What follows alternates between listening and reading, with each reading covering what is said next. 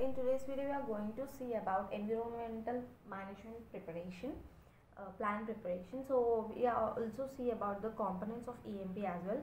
So here emp is nothing but environmental management plan. So before going to its components now let's just see what is planning and how the planning is related to the environment here. So general terms of planning what it refers to is it's a process which helps us to make sure that we achieve our desired goal. So it will be helpful okay? It's a strategy okay? We, that is what general meaning of plan. So here how the planning is related to the environment is it is a decision making process. That means it will be the main part on it will play a crucial role in making a decision that whether a particular project should be accepted or rejected or modified. So how do we do, do that based on analyzing or assessing the environmental and social and political economic factors. So whichever impact on the environment. So in just brief we can say it as planning it is a uh, planning is a decision making process which will help us to analyze the environmental factors based and its impacts on the environment. Okay? So this planning what is the main aim of planning is we have to maintain a sustainable environment for our future generations. So since we we got uh, our environment from our ancestors so the same thing we have to give it to our future generations without any consequences or without any pollution to them. Okay? And the environmental management plan it is also called as impact management plan. So sometimes you may get question like write about impact management plan so this is the main point okay? Imp is also known as emp emp is also known as imp and now let's see the components of the environmental management plan. So first one is list of environmental impacts. So what is this means? It is a summary of the predicted adverse environmental and uh, social impacts of the proposed project. So for which uh, we monitor or uh, whatever the monitoring should be specified. That means whatever the uh, whenever we take a project uh, we should have a summary of all the impacts that will be caused by that particular project. So you can say that it is a summary of predicted adverse impacts adverse environmental impacts okay? This is list of environmental impacts. And the second one is description of mitigation measure so mitigation is monitoring. So the mitigation measures uh, how what about what we have to take this monitoring method. So it's all about the whatever we have predicted in the first step that is uh, whatever the environmental impacts we have uh, taken here we have to make sure that we monitor them here okay? Why? Because if we monitor them only we can uh, know whether we should include them in the pro project design or uh, we have to include them in the operating procedures and the technical aspects of implementing that various particular methods okay? And uh, so you can say here it is monitoring the impacts.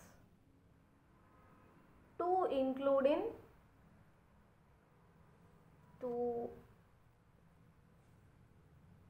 include in project you can just add few more words as well like project design technical impacts and the operation phase. So this is how you have to elaborate in, uh, the answer okay? Description of monitoring program. So this program should explain the impacts and their measurement indicators and also the limits that will indicate them. So that to make the corrective actions that means it should be able to explain the impacts whatever we have uh, taken here explain impacts and it should be able to provide us certain limits okay? Certain limits to limits and measurements okay?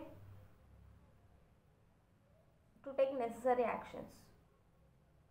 I'll write to take actions. You can just elaborate by adding few words as well.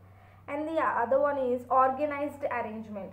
So here the mitigation and monitoring arrangements these two must be well coordinated so that various actors or various uh, people who are involved in this project will be taking uh, a particular action such that that actions will be uh, perfect and they act accordingly according to the project okay? Uh, that means whatever the arrangements we are doing here in this three steps they must be coordinated with each other. That means if you are taking a uh, monitoring method or you are taking up certain action to reduce the impact of one particular uh, activity it should be able to make sure that whatever the action you are taking that should not be affected for the other activities. That means they should be well coordinated here well coordinated so that the other actors also will take necessary act to uh, responsibly okay? And the other one okay. Implementation schedules and reporting procedure. So this component of environmental management plan so this uh, will include the information about the progress and the results of the mitigation and monitoring measures. Okay. This will include the results of mitigation and uh, information on on the progress of what previous steps what are the previous steps? Mitigation okay? You can write that as well here next cost estimates and uh, source of funds. So this is something you'll have uh, examples as well. Uh, with a real life examples we'll just discuss this one and the cost estimates and source of funds is the initial investment and the recurring expenses whatever we are uh, taking during the design stage and uh, pre-construction stage and construction stage and also you can say operation stage. So all these must be defined and they all should be specified. That means here it, the name itself is it is uh, saying its cost. So all the investments in every step all the investments in every step should be specified okay? Here also you can write in every steps means you can also like just that is you can write as design stage pre-construction stage construction stage operation stage. So these are all the stages of project right? So we can mention that as this is the main thing so now let's see the example for this cost estimate and source of funds. Okay. So one uh, regular example is there is a small uh, town in a rural area called uh, it is called as Auroville. Auroville. Okay. It's a small township in rural area.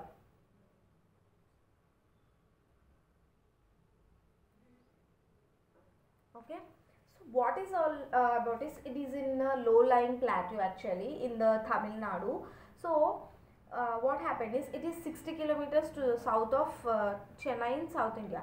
Now this place is reputed as a wasteland okay for reclamation and reforestation work. So now this barren land is transformed into a green area by planting more than some 2 million different types of trees I guess.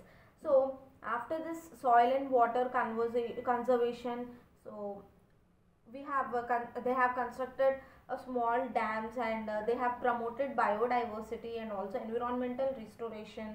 And they have started organic farming also to create a environmental friendly and sustainable area for the main activities okay? Whatever uh, they are pursued in the Auroville uh, small that township so what here the environmental team is uh, doing is so they have just transformed a, a waste barren land into a very beautiful and the most conserved place in that small township such that the township is uh, whatever the township the near the nearby all the cities are benefiting from that small uh, land which they have reformed into the a very good uh, place so with the environmental friendly. So because of that land whatever they have transform transformed which is near the Auroville so because of the transformation they are able to get many different resources from them. And also they are producing renewable energy sources like solar wind and uh, biomass. So this town is almost having 1200 photovoltaic cells i mean what uh, voltaic panels okay? And we they have also 30 windmills which are generating for electricity and they are supplying water as well. So what is happening here? Because of the waste barren land which has been transformed into most conservative land many of the cities nearby uh, that uh, Auroville township are benefiting from many of the resources so here why we have taken this as an example because this is how environmental management uh, work. So they'll take a waste and barren land like this and they'll go all the six uh, whatever we have discussed it now six components and then they'll finally they'll estimate the cost and see planting trees that doesn't uh, require much investment right? Okay? They'll grow. We won't uh, we'll be just needing some seeds and then land uh, we have to dig the land. And then we need some people to plant the seeds and then uh, just a few members to make sure that the plants are healthier and uh, for watering and for pesticides all those. Only for those things we need the people and all okay? Plants we don't uh, make them to grow they'll grow it right?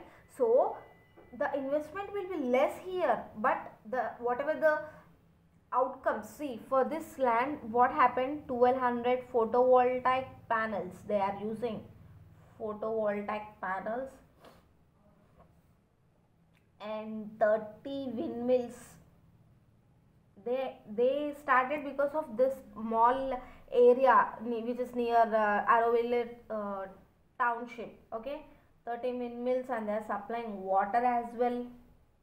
So these are all the uses okay? You can so this you can mention this example as a case study for this environmental management plan answer. Okay. Thank you.